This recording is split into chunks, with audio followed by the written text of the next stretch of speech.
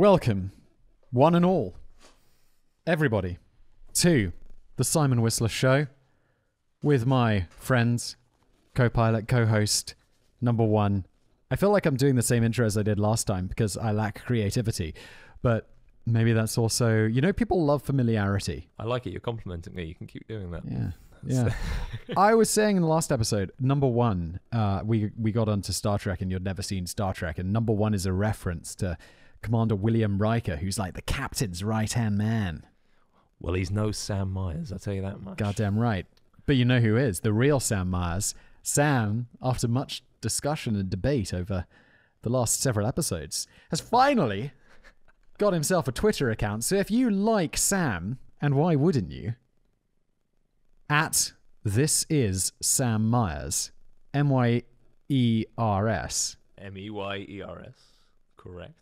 What did you Oh say? yeah, no, I skipped the E. You said yeah. You skipped the. can Everyone you, does. people? You can have that right without an E. uh, yeah. Yeah, because so you'll be Mayers. the original. Do you know actually? Fun little side note. Before Wait, we how even, do you spell your surname? M E Y E R S. Before Isn't we even get Mayers? started, yeah. Well, you see, here's the thing. All right, this is actually quite interesting. Oh. Um, Well, this is the show where we talk about fun facts. It is. It is. Wait, I'll tell you exactly what happened. So it was to do with the war. Um, it was. Uh, M-Y- uh, M-Y-E-R-S is the typically Jewish spelling of the name, and Uh-huh. so it was changed to avoid further problems. Uh, once where, uh, on my dad's side, family came from Germany, so like like sort of Jewish Germany, and That they changed their name so that they wouldn't be tracked down. Super interesting. My family come from uh, Jewish Lithuania, and my name, I'm sure, was definitely not Whistler a couple of generations ago, but something else. Yeah, dad's side of the family Jewish. there you go. Uh-huh. Not But- super common with Brits. No, no, it's no, it's not super. common. you know, you and I have some definitely have some joint ance- ancestry somewhere, Dude, I did my ancestry. Yeah, Us- we an, uh, Ancestry DNA sponsored us. Yeah. like a year ago. and you're like, And- oh, I'll use that. I'll do that. Yeah, why not? You spit in a jar and you send it off. And I just got an update about my ancestry, and it's like it's exactly what I would expect. I'm like half British and half Eastern European Jew, and I'm ten or my my British ten percent Irish. No idea. There Oh, you go, ten percent Well, go. Irish. But, but you know that's not actually to do the when they do that. It's not like to do with your blood or actually what you are. They use the current um, Data from all the people that have submitted in that place at this time exactly. So they say right, your your DNA is roughly the same as the people that live there currently now, exactly. which is interesting. And this is they. I did this about a year ago, maybe two years ago, and then yesterday I got an out of the blue just an update email saying like it's now more accurate because before there was Irish wasn't mentioned. It was just I was British and uh, European Jewish. Well, you know, I've got a nice little advantage. My grandpa is an absolute boss when it comes to this, and he has done our family trees back to the 1500s. Holy shit! Yes, uh, wow. like on certain branches. Like so, obviously you Yeah, can't you can't really go much branch on further with- every yeah. branch, but but yeah, on pretty much uh, on like sort of the main branches, uh, he's he's gone back to the 1500s, and we have a long line of Herculeses. So I'm I'm sort of I keep pushing on my wife that one day when we have kids, we're gonna have a Hercules. Hercules, amazing. And uh, yeah, it's not gone down well so, thus far, but uh, we'll, we'll see. We'll see how we get there. Just uh, bring her around. Uh, your phone, I think, might be buzzing. It's not mine. Not mine. No, no, no. Turn it, put it on airplane mode. It's yours for sure. I can hear it buzzing in my ears. That's it. You see, I, I connect to the Wi-Fi once. Oh, sorry, guys. Airplane mode. There you go. That'll be its final buzz. We're safe. We're safe. This is crazy. It's like How many episodes have we done? experiment And I can't believe that hasn't buzzed so far. Like, I've always left it over there. wow. the first time ever because I was setting up my Ah. Twitter, wasn't I? So I pointing to the hallway. Okay. Um, this this intro banter has gone on. Let's talk about fake Eiffel Towers. all right. I've seen three Eiffel Towers in my life. Yeah. Uh, I saw I've, I saw the real one when I was when I was eleven, and I saw it again about a couple of months ago. I was in Paris. pretty, isn't it? It's big and pretty. Very pretty. Uh, I- think it's pretty. No, it's gothic. No, it's not gothic. Mm. It's dramatic. It's dramatic. Dramatic would be right. I think it's pretty because pop culture has taught me that it's pretty for my whole life. It's quite ugly, like objectively. It's it's a brown tower made of steel, iron, not sure. Um. Anyway, so there's a whole Wikipedia page about Eiffel Tower replicas and derivatives, and there are ones that were like that. Well, this kind of Wikipedia page, it's a bit of a this Wikipedia page total scam, but because they include ones that are kind of like inspired by the Eiffel Tower. So the one at the top, just Sam, I'm so blind. Yeah, Zoom no, no, sorgo it's it's this is a and tricky. scroll left. Scroll left. Here we go. Watkins Right. Tower, right? Watkins so this Tower. was planned to be built in Wembley, which is like Greater London, Planned in 1891. but then it wasn't finished and it was demolished in 1907. And it kind of looks like a narrower, pointy Eiffel Tower, which was going to be the same size as the Eiffel Tower, built around the same town time. They were going to call it like the Great Tower or something. Uh, it's not on this page. I was Watkins exploring Tower, no? deep. Uh, they, I think it, that was did that was what it was called. They, Watkins Tower? Yeah. Or the guy was hoping it would become like the Great Tower of London, and no, they never finished it. But it was going to be as big as the Eiffel Tower. Um, and then there's some other ones which are like they call them full scale, but they look nothing like the Eiffel Tower. No, no, they're, they're definitely inspired. There is a sort of a lattice effect that's been uh, like a lattice triangular pyramidal uh, like uh, sort of shape, but But what I what I really wanted to get into yeah, is the actual fake ones, okay. where it's like uh, Vegas. Vegas. You've been to Vegas? Been You've to been Vegas. everywhere, man. That's a, uh, that's yeah, that, that's actually quite impressive. Vegas is impressive for that. That you walk down the road and at one point you're in Venice, Hmm. the next point you're in Paris. for sure. Uh, but yeah, And you know, it's a, it's only a third, uh, half scale. half scale. half scale. Okay. Wait, and it's big. And I so that's the second one I've seen, and you've seen that one as well. Mm-hmm. Then two years ago, I went to China Oi. and I went to fake Paris, where not only have they got uh, There it is. Shenzhen in There China, it's one third scale. So click on that. So it's a it's a proper replica. I really thought it was half scale, but it's it's big. And I've been there, dude. When I was here, it was like it was 40 degrees Celsius. It's like 110 Fahrenheit. It was absolutely brutal. Um, but not only have they faked this Eiffel Tower, they faked the Champs Elysees. There's like it's it's a whole fake French city. Like it's supposed to be Paris and whatever, and there's all these buildings and all these things, and it's like it's really bizarre. I had some photos, but Like- I didn't get it to work. China's big on that. Oh, In fact, oh, sorry, uh, all of Asia's all of Asia's big on that, like doing sort of fake cities and things like nah, that. China's the big boy on China's this, the big boy, yeah. And I Um, went to Thames Town, which is fake London. It's What- like a whole town, what's just there? What's the, what's there in Thames Town? British buildings. They they look British. And inside of them, Yeah, really? dude. You walk in its pub. it's like a movie set. There's like a bit of vomit on the floor, and and and it smells of old beer. Nah, it's too clean. China's they they it's quite clean. Yeah, Um, uh, yeah. That's how you know you're in an authentic English pub. Is the the, the smell of ale Yeah. that just can't can't leave the carpets. And it's broken as well, like but in a different way to Britain. Like in Britain, I feel like the old pub would be broken and it'd be like because the door doesn't shut right, you know, because Yeah. it's a 500 years old. Yeah. And here it's just oh, and I also went to see a French a fake French chateau.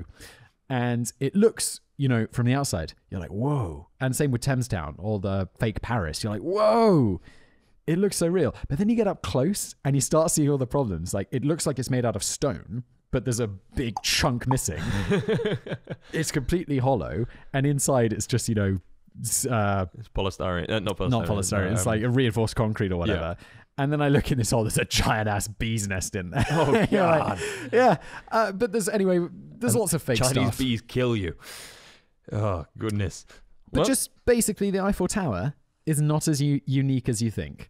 There's a ton of uh, fake ones. There's that one in. In Mexico. There's one in Mexico, which is one sixth scale. But now we're getting to ones that are like you know, because one sixth is a big difference between a third or a half, and these are kind of just for fun, like. But it's actually called Eiffel Tower. And there's Eiffel Tower in Romania, but I think yeah, like you say, these are in sort of like they're uh, more like theme toy, parks yeah, or something exactly, like that. They're, yeah. Exactly. I mean, there's the Petrin ta- the Petrin Tower in uh, in Prague as well, which is They really count that as a version of the Eiffel Tower. It's completely different. it's completely different, but um, nice fun fact. It's got the it's got the interesting stairs designed by Da Vinci. Really? Not Da Vinci. The Not- double helix not direct- The double helix stairs. Was that Da Vinci? Uh, Galileo? the Not people who came up with DNA or the double helix. Yeah, no. I anyway, anyway, it doesn't matter. Um, but yeah, so it's got that. So you'll never meet someone coming down if you're going up. Yes, it's clever. very clever. Um, double helix. Double helix. So, yeah, that's that. There's lots of fake Eiffel Towers. I'd like. I'd go see some more of these. I'm surprised there's not one in Russia. Why? They like to do big things. Have you seen the big? Um, oh, it, was, it Genghis Khan, the big Genghis Khan statue. No. Oh, what? Where is it? No, In Russia? You must have seen. Maybe it. I have. I'll Mongolia, probably see it. Mongolia. of Uh, course, it'd be a Mongolia. Genghis Khan. How do you spell Genghis Khan? Khan K H A N. statue. It's humongous. Right. All right, here we go. Ooh. All right, let's try and get one where there's people. Oh, I have seen this statue. Of course, Look I've seen the statue. that. That is absolutely massive. It's humongous. Oh my god! just- What is that made out of? pure gold. no, it's uh, I don't know what that is. It's, Genghis Khan. That is huge. but like, it's I, I just find like sort of ex-Soviet countries and all these sort of like R- Russia and China, for example, uh, they have big things. They have big hotels, big places. Don't do it small. They don't do it small. They go big or go home. What's up next? Well, actually, I was linked to that. Uh, I just wanted to wanted to add into this. Oh, we got a Sam item. on- Eiffel Oh, Tower. Yeah, yeah, a little cheeky Eiffel. Oh, I know this one You about know this the. Uh, one? yeah, yeah. I mean, I know it now because I read 'Cause the you read it. notes, but I knew it before.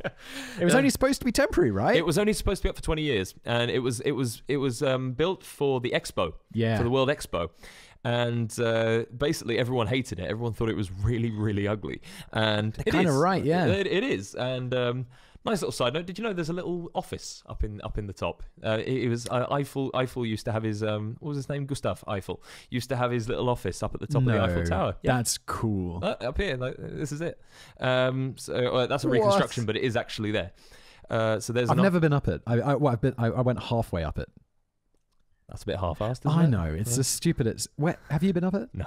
You've you've been to Paris. You've seen Been to it. Paris. I lay underneath it, got very badly burnt, fell asleep, Oh wow. and uh, it was like you say, it was about 30 degrees, like like um, Celsius, and it was. I fell asleep for about two hours. Oh, I was my I my was forty hungover. degrees. I wasn't in Paris. That was when I was Oh, in the in fake one.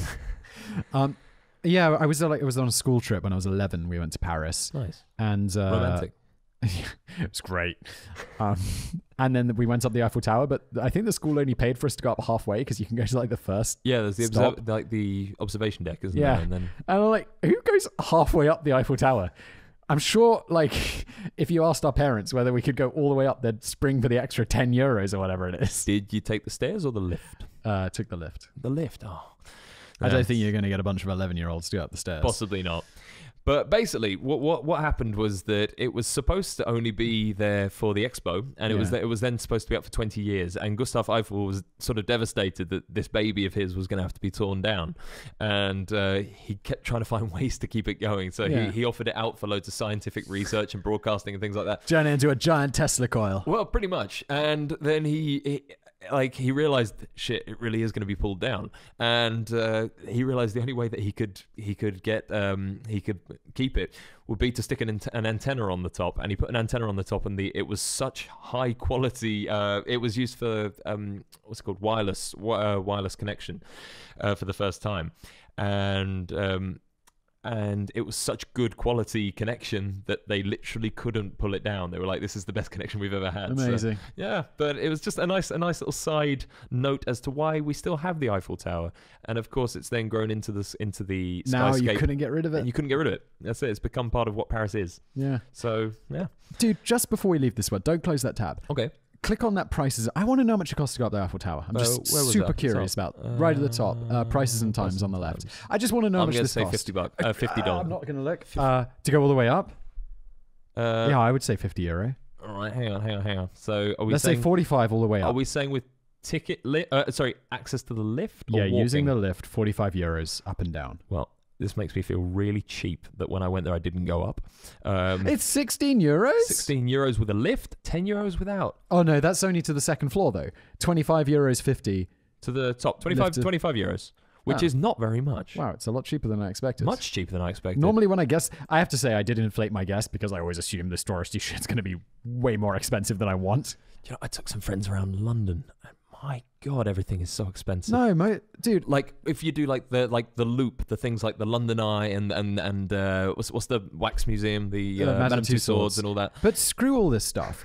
There's so much good free stuff. Oh, 100 percent. Yeah. Like the Science Museum, the Natural History Museum, it's free. I love London's museums. Like Dude. they are so good. The British Museum. Yeah, British Museum. It's free. It's you can't believe like in that British Museum and the Natural History Museum, you see things that you will never see No, anywhere else. They are one of a kind. One of a kind. There's the goddamn Stolen- Rosetta Stone. exactly. Like like, you see like old like mummies and samurai armor and everything is just all there. Like s- stolen straight from the originals, you know, like straight away, you know. and I don't want to say it's free. Donate because you, if you can, if you can afford it, If you can afford it, put yeah. ten quid in in the thing or twenty quid or whatever, if you can. Um, But it- that's a free if full day of if, fun. if you don't have money, if you're a student, like I lived in London for a year when I was a student, and it was awesome. Like shit's expensive, especially if you don't live there because you don't know which restaurants have the deals on whatever nights. Yeah. and and if you don't have a student card, like which gives you discounts. But visiting London, I always felt yeah, accommodation's pretty expensive, restaurants are pretty expensive. Um, Travel's expensive. travel's You know, expensive. I got an overnight bus from Prague to London, and I paid more to get home. So that's 15 hours in a bus. I paid more to Oh, get home from once. London. London back home to where I live, to the village where I live, than I paid to get from Prague to London, yeah, it's absurd. Yeah. And underground's really expensive, even if you've got an Oyster card. even with an oyster. Yeah, up to Um, ten pounds a day. That's 12 pound. Is- Is it just? Uh, 15 maybe. Uh, Yeah. And anyway, um, yeah. But- if you go to London, the so many, not all the museums, but a lot of them are for free. It's fucking great. yeah. Just, Uh, just a quick hint, a quick, a quick London hint. Yeah. Uh, go and to the London Eye's not all that. go to the national. What's the Tate Modern is free as well. Tate Modern's free. What's the big one at the top of Trafalgar Square? Natural. You know what I mean? You know what I mean? The Oh god damn! oh, this is bad. We are bad English people. Uh, it's not the British Museum it's for not the sure. British. No, it's the art museum. The Yeah. National, National Gallery. Gallery? National Yes, Gallery. National Gallery. wow. There's a that big- took some time. That did the national. Because in the National Gallery, there's a very famous charcoal painting by Leonardo da Vinci. Uh, charcoal by Leonardo da Vinci, and it's amazing. Go see it. It's one of those sort of things that you look at it and go, "Wow, that dude He did this. his uh, stuff. it- like he did good stuff. Like this, it really is amazing." Crack on, Sam. What's Yeah. next? Right. Sorry. Here we go. Let's keep going. Super Sorry to scary apologise. zombie That was me taking us for a tour around London's free actions. Super scary zombie ants. I, I feel like this one's been done a lot, but it's I stumbled across it while finding topics for this week, and I couldn't leave it. It's too good. It's, Do you know this? It's solid. I do know this. I've even seen the footage, and it is terrifying. It's terrible. Do you want to f- load up a video of that? Yeah. Let's get a video. yeah. Uh, I'll just so basically it's this it might be a parasitic fungus that uh oh is no don't do it here. This will be a terrible player. Load up YouTube and find a thing because this the, the, the player on that site I saw it when I was researching. You have to watch a thirty second non skippable ad. oh god. No, Oh no, god. just no. Right. Ant fungus. Um, so basically, this fungus, this parasitic fungus, it gets it infects the ants, and then it basically makes them wander away from their nest, high n- nest, Uh, nest, yeah. ant's nest. oh yeah, you've got to watch five seconds of ad. That's Let's just fine. play Don't that. mind that. Don't mind that. Um, and then you get it goes away. Then it bites into like a the stem of a plant, and then this fungus grows this crazy thing out of its head. Let's play that video. Okay, Here we go. Uh, leave it on mute so we don't get claimed. Oh yeah. Um, then skip ahead. Skip ahead. Here we go. Yeah, get to the part where it grows out of his head. Yeah, where are you growing? Come on. Okay, Alright, so, there's a scary looking ant. He's covered in hairs. Yeah. Now, He's got infected. He's oh, got he's gonna.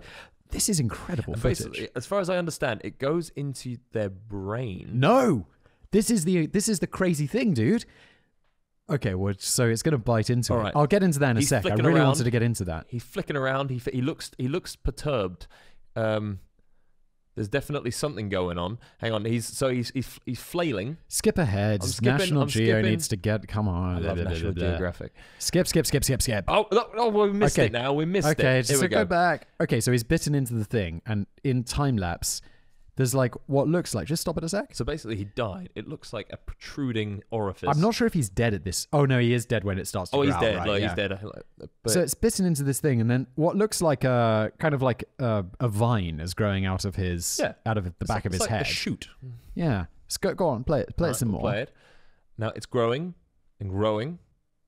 Grow. Skip ahead, skip ahead. This time lapse is not time lapsed enough. Oh, I should have done 30 seconds. Oh my goodness. All right, here we go. So it's got really quite big, and then this weird bulb thing grows on top of it. Has what? Have I? Have I? Yeah, you've skipped ahead too Oh, far. oh. But anyway, this weird bulb. Oh no, there it is. There's another Oh. example. Anyway, it, it's just super weird. This bulb thing grows and then it releases all these fungal spores all around, which infect more ants, and then they go out and do the whole thing again. And it's just basically this ant, the, it gets infected, and then it's just driven. Like, it's not doing this on its own accord. It's driven to go and permanently bite into the stem of a plant, and then a fungus grows out of its head. And to be in a place where there are more ants as well, I think, is part of it. It's um, Fascinatingly, where there are more ants, but also not too many, because they don't want the whole hi- uh, nest to become infected and then reduce the amount of uh, generations that can go forward and can evolve. clever. Crazy, right? I love nature. It's incredible. I just love nature. so you mentioned that thing about the brain and Yeah. how it's got to be controlling its brain. Yeah. And I was like, yeah, obviously it's getting into the brain because it's telling it to go and bite onto this thing. No. No. They've taken these ants that have been infected with it and they've done some like probably not brain scans, but they've looked at what's infected, like where the fungus is in the body. It's not in the brain. So the brain of the ant is unaffected.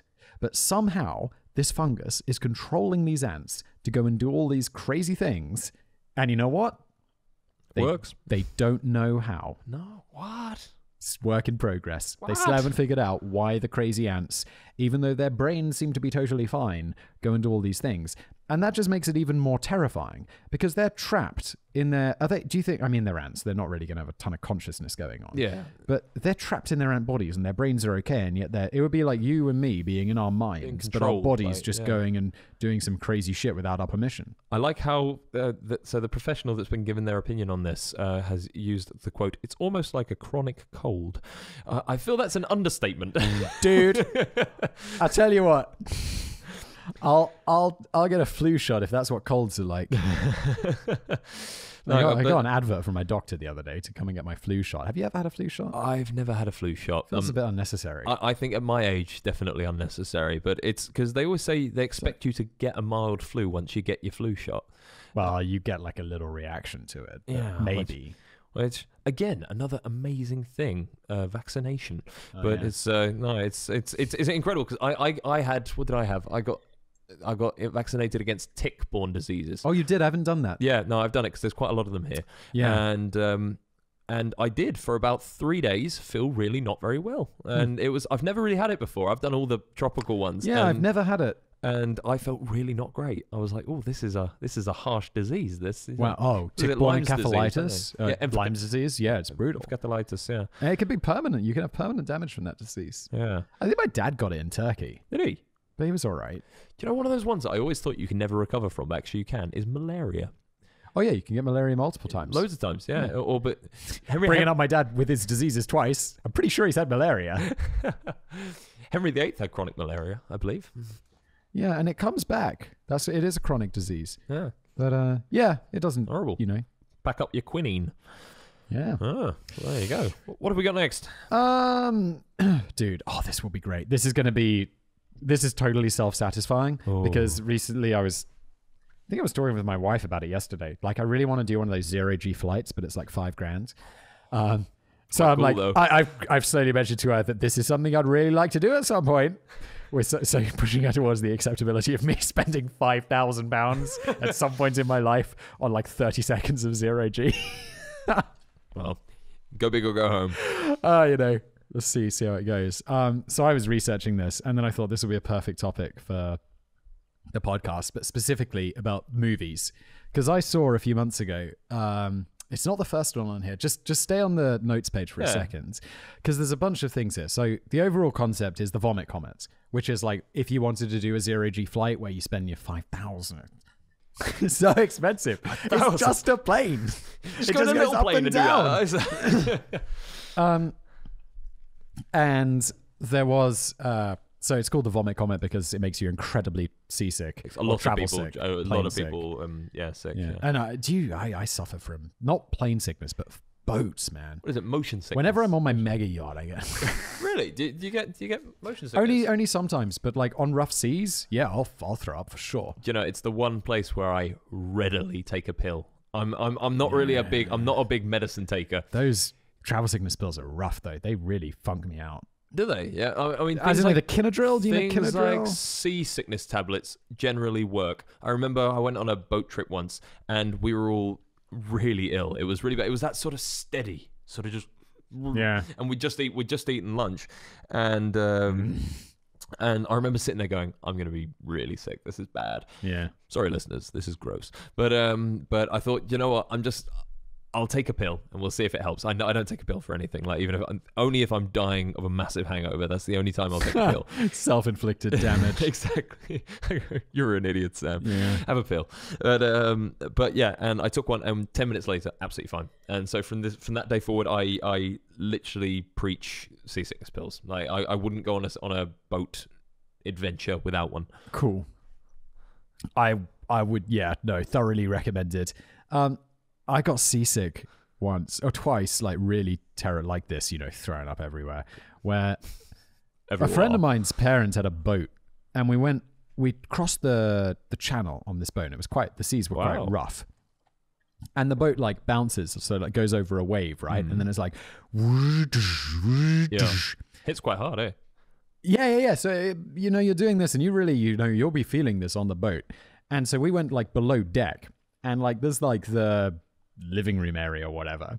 And if you time it just right, you jump up, and then as the boat's cresting over the wave, and then the boat enters free fall. Wow, we're really bringing this back to Ah, zero G, and I think this is why it makes why it makes you sick. Like the same principle. And as it fall, the boat falls down, you have a moment in the air. So you jump up, and then you're like, whoop. and then as the boat goes down, you're slammed into the ground. So we'd jump up, you'd have this moment in the air, and then you'd be slammed into the sofa. And we did this, we were like 12 years old. We did this for an hour, however long it takes to go up, maybe not an hour.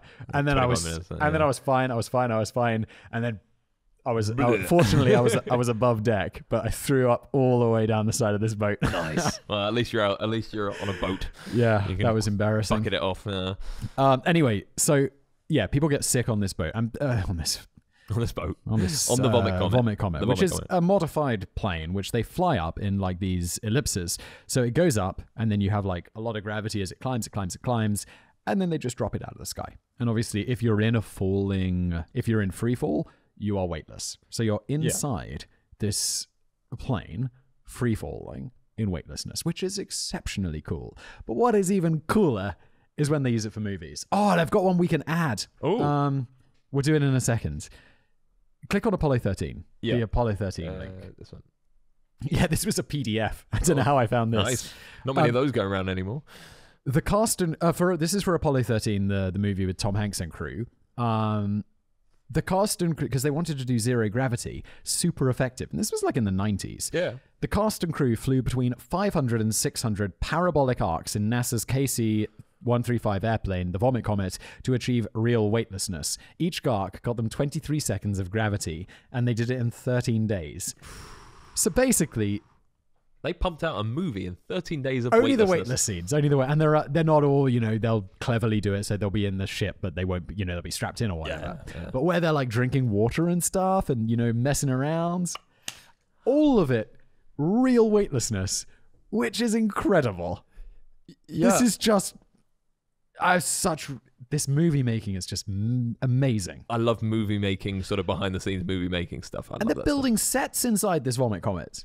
Yeah, yeah. No, it's it's yeah. I, I mean, I also am part of that list of people that would love to try the vomit comet. But is it not exactly the same as doing a free fall? Uh, no, because Like in a free fall, you're like you're falling towards the earth. There's tons of winds and I suppose because then they land safely back down, don't they? On the arc, they do like a sort of. It's like a big S in the sky, isn't it? It's like a big. yeah, yeah, yeah. And also importantly, the the you, there's no wind movement. Yeah. and it's pressurized and all of this stuff. So you are. It's still. It's like you're in a room, just weightless, Ah, Cool. which is cool. Very cool. I suppose yeah, because it arcs off, you slowly land back down. At least you hope you don't just crash back Yeah. down to the floor. You assume so. Um, so this was good. And then much more recently, just go back to the. I don't think there's anything super interesting here. It just explains like the parabolic. Oh wait, wait, go back to that. Zoom in on that thing on the right. Yeah. So for our video watchers rather than our audio listeners, this is just uh, a graph showing the the parabolic. So basically, they Um, hit a 45 degree nose high, and then they straighten out, and then they drop off into a 45 degree nose low. which a 45 degree climb pretty is steep. intense. Pretty steep. Yeah. So I think this would be a bit of a kick of doing one of these flights as well. Like a 45 up Going, would be. Yeah. Like Oh, I, dude, I remember, I remember once I did. I, sorry, I was No, gonna go for it. I was just going to jump in and say I remember once I did fly one of those little planes and like one of the little Cessna things, and I had like an old sort of RAF pilot was with with with, with, me, and he liked to do all the aerobatics and stuff like that, and he, he kept doing these these sort of parabolic flight things, and you can do it in a little plane, but you don't get that 25 seconds of witness. Yeah, yeah, yeah. You just get sort of three seconds of going. There's that video on YouTube of people. A guy's got a dog in his plane, and he's doing this, and the dog's like free float, just floating around in the back, and then whoozong. Uh, yeah. So go back to the notes. Let's talk about the Mummy, yeah. and let's talk about Tom Cruise. Tom Cruise. who is crazy, like with all this Scientology, and he's got like you know he seems to be a bit weird, but he's also a legend. He gave it up, didn't he? His kid was ill, so he gave up Scientology. What? Yeah, I think so. Really? Yeah, I think so. I, I, I don't, don't Google it. Don't take it. my word. No, I got to know. Is Tom Cruise a Scientologist? Is Tom Cruise still Oh yeah. a Scientologist? Oh god, I'm gonna get killed with that. Scientologist. This I just have to know. I know this is not prepared, but Uh, involved through his first five Mimi Rogers. Uh, former Scientologist says this is how Tom Cruise can't switch. Kind. this is all from last year though. Ex Scientologist says no, he's, he's, he's still a Scientologist. Um, it doesn't matter. This isn't about Scientology. This isn't about that side of Tom Cruise. This is about the side of Tom Cruise that is completely badass. legendary. Zoom in on this article. This is from Variety. So yeah, it, the first paragraph is four words. Tom Cruise is committed. He Uh, just is at everything he Oh, does. all his stunts, everything. And he's, he's like 50. For a plane crash sequence in The Mummy, the actor's upcoming monster movie, Cruise did 64 takes in zero gravity. Two days to shoot four high altitude flights. The filmmaker said during a blah, blah, blah, blah, blah. There was a lot of throwing up. A lot of throwing up. Apparently, Tom Cruise, I read this before, so we don't need to go through every single thing. they said Yeah, he, did, not, throw up. barf. Everyone else was throwing up. Tom Cruise is like, I can take it. I'm- Thanks for doing this, I just, guys. I just hold it in. Yeah, and he was super supportive of everyone and all of this stuff. And this is Look what's at this. so Look at this. I was happy to have Tom on hand and to hold back hair, hair if if needed. just I- I'll say something. Just but load up the mummy zero gravity scene and we'll watch it without sound so we don't get claimed. Um or we'll watch watch bits of it. But they built this this whole set inside of this zero gravity plane. It's there was a great making of and all of this stuff. But there was another one he did where he did a uh he did a, a free fall from a super high like a halo jump which is where you do like a high altitude low something low orbit. Low orbit, yeah. where you're jumping from a really i think that's what halo stands for i'm not sure. Where you jump from a really high height with like a special breathing mask on and everything Oh, okay, yeah, yeah. and they did this scene where he jumps out and it could have been faked. They could have done it with green screen and wires and all of this stuff but oh this is but but he did it for real the halo jump. Isn't this incredible? Just Hang we're on. watching the video and it's just him flying Oh, around. It's- let's just inside skip it the- forward to him. Look at that. Chapeau.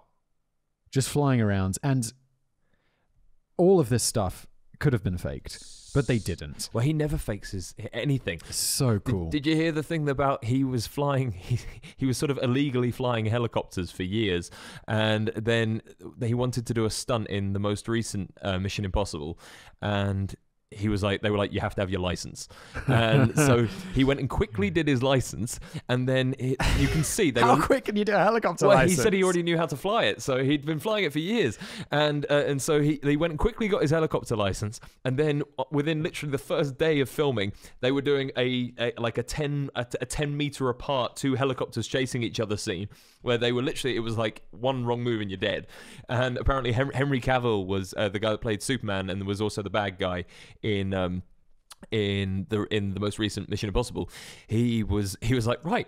Well, this is how it goes. Yeah. It's like, at least I'm with Tom Cruise. At least I'll make the paper. I'll make I'll make the papers. incredible but no, it's I actually I wanted to add something about Tom Cruise's uh, committedness. a legend Uh, he, like he's unbelievable, and do you know, like he, he was completely different, um, like thing. But when he he did. Uh, what was the film? The singing one, Rock of Ages. He did Rock of Ages. He played a rock star, and he sang all his own. I don't even know that movie. Yeah, oh god, he he sang all the Def Leppard songs, and um, YouTube it, man. Bring it up. I, I just want to see Tom Cruise do legendary things, and I, I It's because I mean these aren't. I don't believe these are movies from his production company or however. He's just the star. He's the star, but he's yeah. such a big name that they're like, Tom, we don't we don't need to do the Halo flight. We can do it on a soundstage with green screen. And he's like, we're doing it. We're doing it. I want to do it. Well, And th- then they're like, okay, Tom, that, well, that was that was because you're Tom Cruise. there was the one this one here where where he was on the outside of the ah, aeroplane. Such a good scene. I love these new Mission Impossible movies. that could easily that could easily have been faked. But it- easily, but it, wasn't. just holding onto the outside of a plane. And they said they said what's like what were the biggest concerns? Was it letting go? And he's like, no, no, that that was fine. Like I was attached on. The biggest problems were birds. Uh, particles in the air, getting hit by like a bee or something, like because it would kill me. And and then he said it was a bit cold. I only had a jacket on. we were like, I was like, Incredible. Tom, did you not think of putting some some like tight fitting warm clothes on? He's like, no. But you, so you wanted to see him in Rock of Ages? I just yeah? want to hear him sing. Rock of Ages. It's Def Leppard, there you go. Um, no, De- um, uh, Tom Cruise. Here you go. Because Def because Rock of Ages was, Oh, was a okay. song. I don't know this. I don't know any Def Leppard. I mean, I'm sure I do, but I Uh, don't know that. So we'll do pour some sugar on me. Here we go. It's a classic. oh. I know this song. Okay, I do know Def Pour Leppard. some sugar on me. Skip this ad. I gotta log in with my premium account because this is Here we go. All right. get that sound going. So or skip ahead. Yeah, don't do too long, otherwise we'll get. Beautiful. Then we'll skip forward to when he gets into the high bits.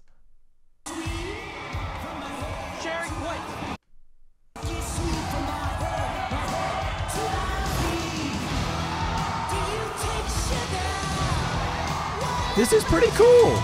Just stop it, otherwise we will get There you some go. claims. but, no, really cool. Like he's and he really sung that, and it's he, he literally he got the part, and he was like a month he'd been training to sing, and he went on and performed that live. Like, like Oh. of course, of course, he performed it in the in the vocal in like the vocal booth as well. But he went and did that like live, and like performed it and sang it and everything. seriously. And the singer of Def Leppard uh, said, like, that's amazing, Tom. Like, I've been singing for years, and this is a hard song for me to sing.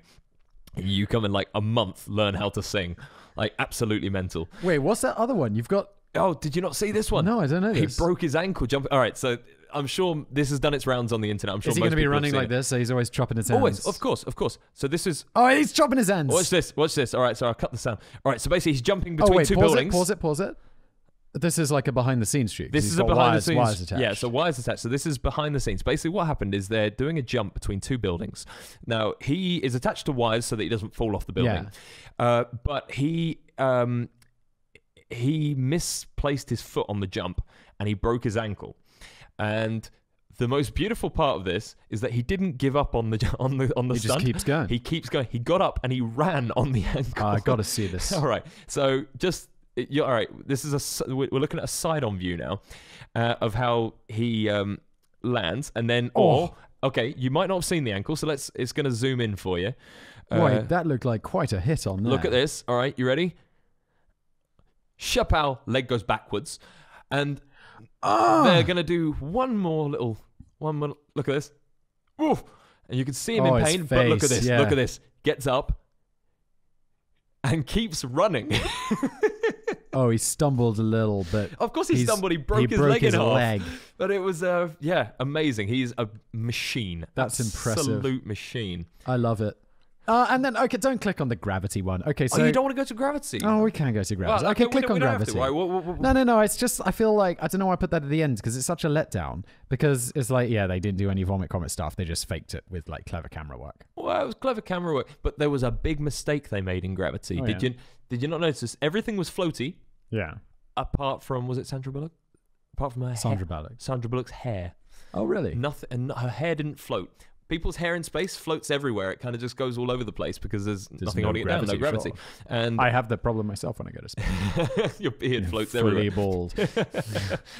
Um, but no, you see, I was gonna, I was gonna link from gravity into into space trash. Uh, Oh. yeah. I mean, did you do you know how much space trash there is in space? There's a lot. There is a lot of There's space that trash. famous picture where it looks. Oh, This- there is the this one. picture. Yeah, yeah, yeah. Which is it looks like the Earth is surrounded. Like if you were in space, you wouldn't be able to see the Earth, but obviously it's an exaggeration because those pieces of junk would be the size of cities. Yeah, well, there, there's that, and there's also the fact that like that's sh- sort of showing how many how many bits and pieces we have in the sky. Hundreds of thousands, right? but Millions? uh, millions. I would have thought. Like, Wow. there's, um, uh, what is it? Uh, Seventy percent sorry, of the known track space in uh, space junk, 70% is in low Earth orbit, which extends to about 1,250 miles, 2,000 kilometers above the Earth's surface. Wow. Um, but hundreds of thousands of man-made man-made objects are zipping around our planet, from dead satellites to er- er- errant nuts and bolts. Which, if you think about it, is massively dangerous. Like for satellites, imagine just okay, a stray bolt. Is this a problem now, though? I think it is. There was there was a satellite. There was a satellite that was taken out by bolts, um, and also things like Because space is big. shuttles. US like the the um yeah, you're right. If even if there's like a small chance. a bolt, a bolt Yeah. orbiting the Earth, Whizzing past. whizzing past. shapow. You know, it's uh, you're not gonna you're not gonna recover from one of those going through you, It's- or going No, through your that's for ship for sure. that matter. But That's uh, pretty intense. And there's a space station up there. An estimated 500,000 pieces between Mm. 0.4 inches and 4 inches across join those larger frank. Uh, sorry, there's two, 23,000 known known man-made fragments larger than about 4 inches, and then an extra 500,000 of slightly smaller. Um, but no, it's uh, I, I like I just find it amazing that this is a problem. We were discussing the other day or um, about junk on the earth but we're already spreading it into space and Yeah. it's it's it's amazing because Well- I, I always thought that would be the answer to Yeah, to it- junk Well, it would be. rocket it away It would be if we can actually get it to escape uh, escape. Earth's orbit because you know blast like I'm probably going to take some heat for this one, but nuclear waste not really a problem because the idea that we're not going to work out a way to efficiently dispose of nuclear waste in the next half century is a bit silly and there's plenty of ways to safely store it. If we within the next 50 years, let's say we work out a very cheap way of getting things into orbit, however that might be. There'll probably be some technological breakthrough, or we'll work out just some way of cheaply Elon doing Musk it. Elon will save us. just put it on a spaceship and fly it into the sun, because there's li- it's less far to go than into than, than go into galactic yeah, Yeah. and it's the sun. You know what's it? You know what's not going to be affecting the sun? Nuclear waste. yeah, just our shit. Just blast into the sun. Do you know you say that and then we'll blast it into the Sun sun, and the and sun will blow up. explode. Yeah. Be like, ah, shit, we should have seen that one coming. How did we not see this Yeah. coming? God damn it.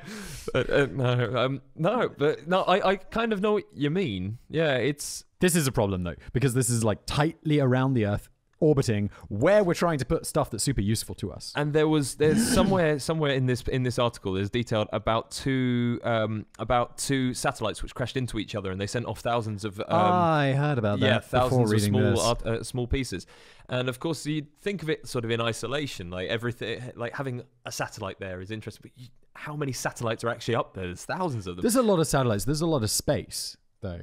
There is a lot of space, it's But there's a, that's five what five hundred thousand pieces of crap floating around. Eventually, something's going to hit something. something will hit something, and something will break something, and then you have to go and replace that something, and it's it's just a vicious circle of junk. It wasn't in this article. Is this scientific? Where was this? National Uh, Geo. National Uh, Geo, yeah. There was. Uh, it wasn't here. I, I read about it, or maybe I even shit made a video about it. Uh, possible. there's like the idea of the chain reaction. So like two satellites hit each other, and then so you've got two things, and then you smash them together, and you've got ten thousand things, Mm-hmm. and then one of those things will hit another satellite and make ten things, and you can have this crazy chain reaction where suddenly. You know, tons of stuff is destroyed, and our cell phones and GPS and internet stops working. well, this is it. Because there's you don't think of it like that. You think, oh, it's a it's a satellite. Uh, it's like Google Chain Maps reactions, man. like that. But it's all it's is GPS. It's uh, digital radios. Everything like that. Everything is. Di- is digital radio satellites? I would have thought so. Sat satellite. I don't even know how it works. Yeah, I guess it must be because some people call it satellite radio, right? Wasn't it called satellite radio back in the day? Like you'd have a car, it would have satellite radio. It's Yeah, like, you had a "Ooh, satellite phone. I don't know. I don't know. Satellite phone. Doesn't matter. Doesn't Either matter. way, if all the satellites go away, it's going to be real bad for us. Really bad. So we don't want that. No, it's uh yeah no it, it's I just thought it was it was really interesting to sort of look at like this as as a representation. It's uh What are we going to do? We're going to have to get like astronaut bin men. maybe not a bad idea. That's, uh, to have to do something about this Uh, eventually. did you hear about that? There was some piece of uh, a satellite fell into someone's garden the other day. really? Yeah, it dropped out. I it, I think it might have been a lad Bible thing. So how, Sounds like sounds Lad Bible. how accurate it was, I don't know. But um, there was there was a piece of space debris fell and landed in someone's garden, and it was just like it said like space something on it. No, it didn't. Hundred percent, hundred percent. Google, Google, Google. I gotta I know. will. I will Twitter this once once I find it. All right. Oh, I'll- that's a good. That's a good plug. I'll tweet it at this is Sam Meyers.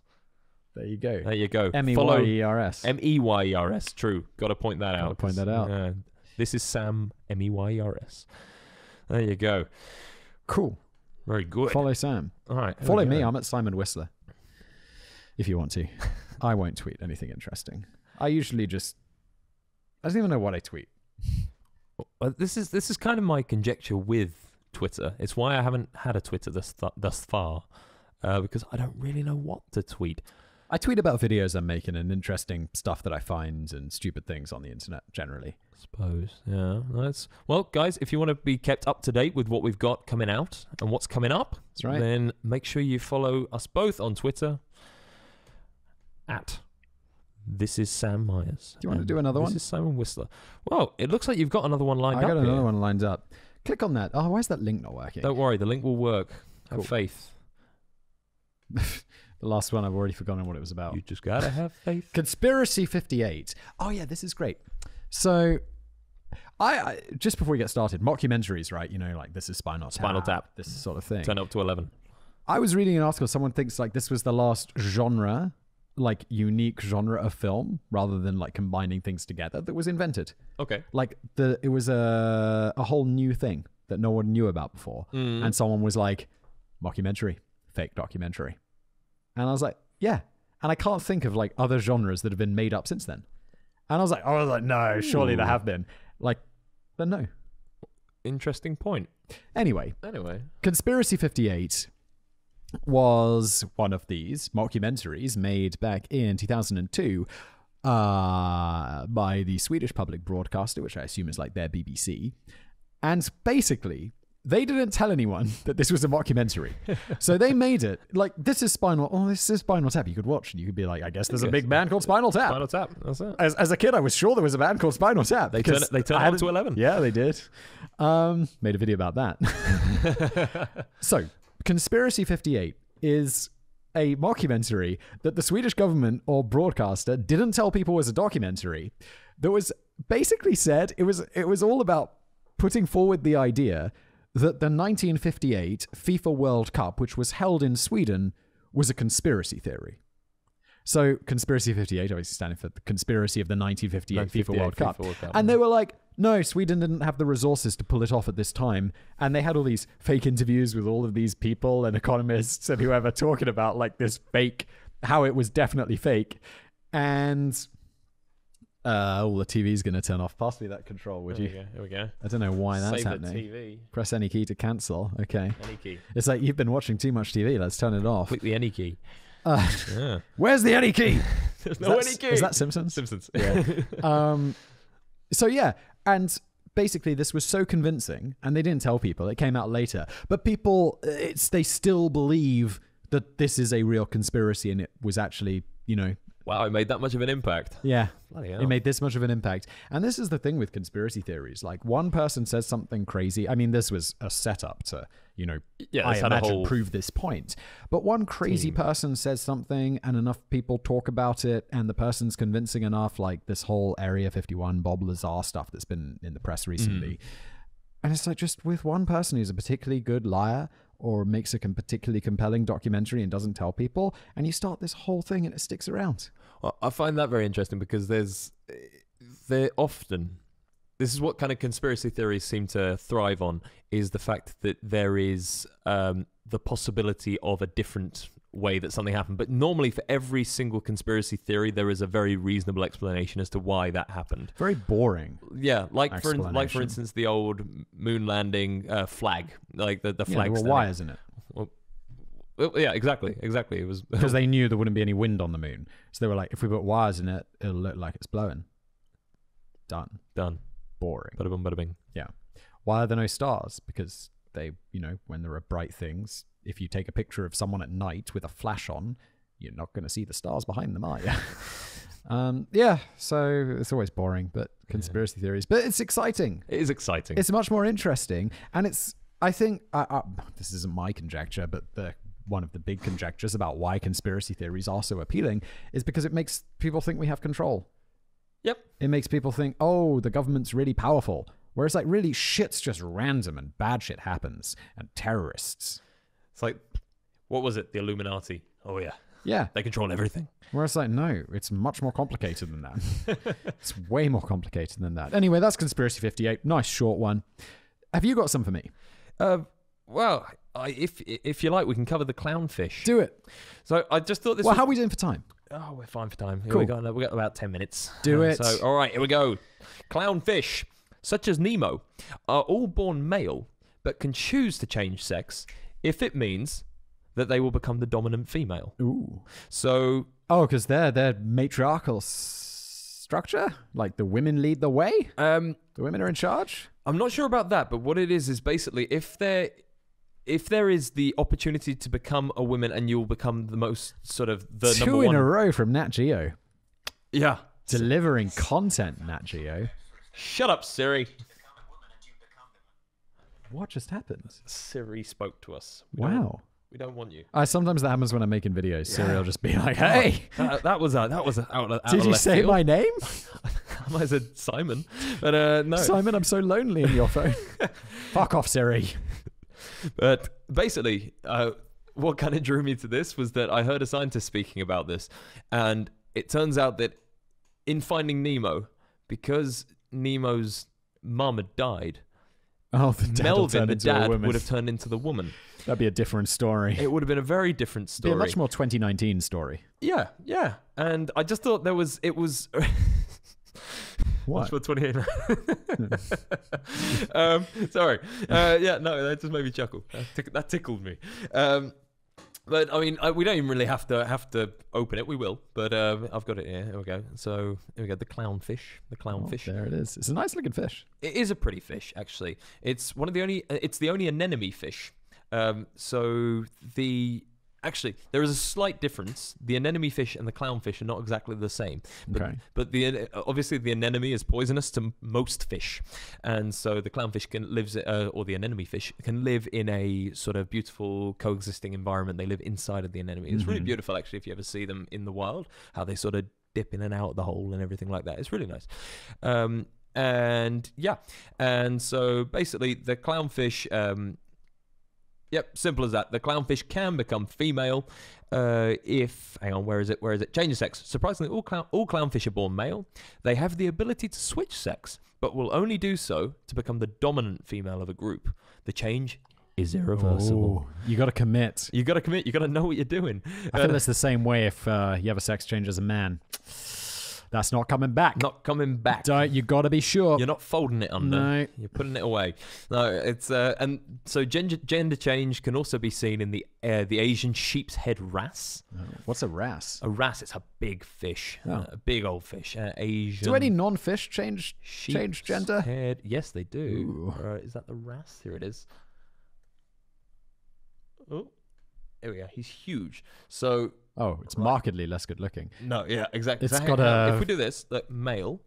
Yeah. So some- viewers at home, just to describe, it's a fish with a giant bulb bu- growing out of its bulbous forehead. Yeah, and it's really ugly. It It's- look, it's got like massive sort of Angelina Jolie lips with Weird, crazy teeth. big, big ugly teeth. Uh, like sort of, it's got like three front teeth, very sharp, and um, it looks almost human, if you will.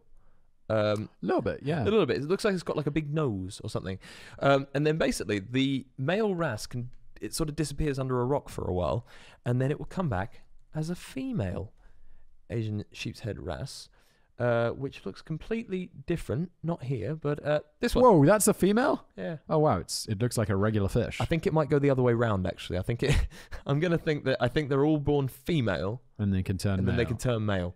Well, Um, and wow. David Attenborough covered this beautifully uh, on I can't remember exactly which show it Legend. was. but uh, yeah, it was amazing. So there was the bearded dragon can change. Oh.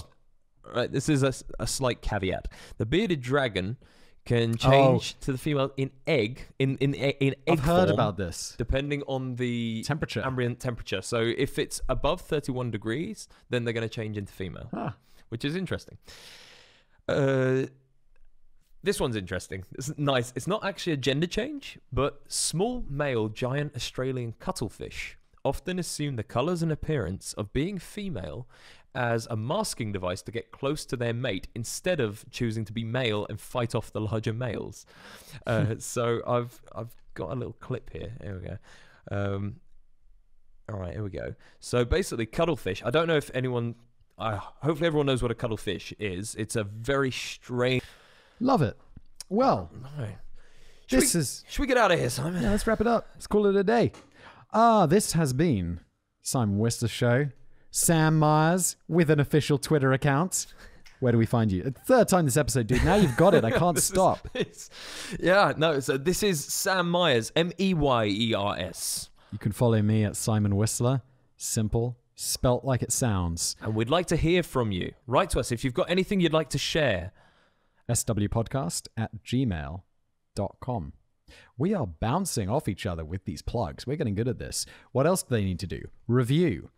Good reviews. Wherever you get your pods. Five iTunes, stars, four Stitcher. stars. We don't want four stars. Give us five stars. That's uh, Yeah, come on, guys. you can do it. Only the best for us. Be good to us. Uh, yeah, this has been the Simon Whistler Show. Thank you, everybody, for listening or watching, however you consumed this show. We appreciate you. See you later, y'all.